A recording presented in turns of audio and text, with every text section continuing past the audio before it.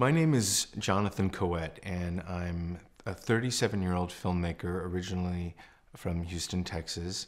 And I've lived in New York City for about um, 13 years. Um, I made I made my first film Tarnation on iMovie for $217.32. And iMovie is a, a mom and pop consumer software that comes along with the computer. My film Tarnation is um, a film that I've inadvertently been making for about 11 years. Uh, it was on an array of, uh, it was created on an array of different formats from VHS to Betamax um, to Hi8, Super 8 film, um, digitized audio tapes, um, photographs. And it was um, juxtaposed together to tell a story of me growing up as um, you know a gay male in Texas, um, Jewish, uh, growing up with a, a very sort of uh, tumultuous, unusual set of circumstances uh, that had to do with my mom, who um, suffers from mental illness, and my grandparents, who had their own set of idiosyncrasies as well, and uh, the film was, uh, yeah, probably made over the course of about uh, 20, 21 years, I think, it took to make it. And um, I put it, literally, the film went from my desktop on my iMac to a worldwide 35 millimeter uh, distribution deal um, in less than three months of having actually constructed it. And it took me about three and a half weeks to make the initial cut of the film on Apple's iMovie. You know, it's been about five years now, and it's, you know, it still kind of wakes me up in the middle of the night, not only because it was such personal content. Um, and I'm, I'm often questioning, you know, what did I do? You know, that's a whole other can of worms.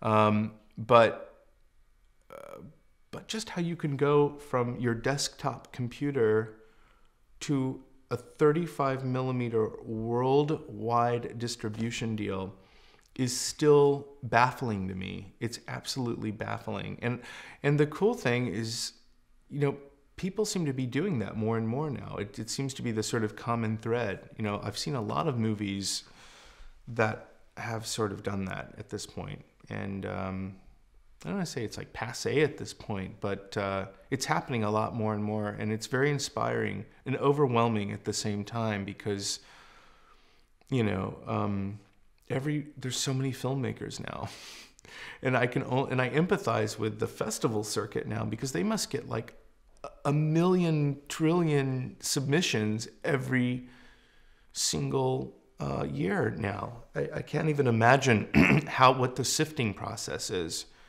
um, you know, but everyone's a filmmaker. Or some people are anyway. Hopefully not everyone, but you know.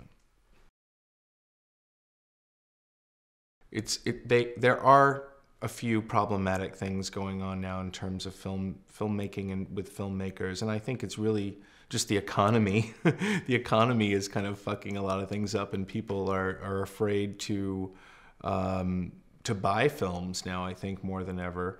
Um, but aside from that, um, I think so many people are making films that, you know, I'm afraid to say that some of the most talented filmmakers ever are going to be slipping through the cracks because they are among the, you know, the uber amounts of people that are making films on on phones and on flip cameras and and um, there's there's a lot of great talent that I think is going to be, um, you know, falling under the radar, unfortunately. Um, but that's you know, it's the monster that we've created of enabling everybody to have a little camera. It's a good thing and it's a bad thing. I, I it's hard. It's a mixed bag for me. But I also think people should take risks, and if they're feeling completely urgent about something, they should pick up that flip phone or that VHS camera or the Hi8 camera or the red, you know, whatever they have, uh, you know, the newest HD camera, and just fuck it, you know, just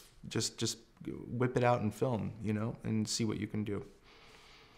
I think as long I mean, for me personally, I think as long as a filmmaker has a good story to tell, that's going to be sort of the common denominator. Um, you can have, I suppose, any camera and any you know bit of uh, uh, equipment at your disposal, and you can have um, loads and years of education behind you too, like real academic education. But if if you don't have a good story to tell, I mean, it's not. It's probably not going to happen. You know.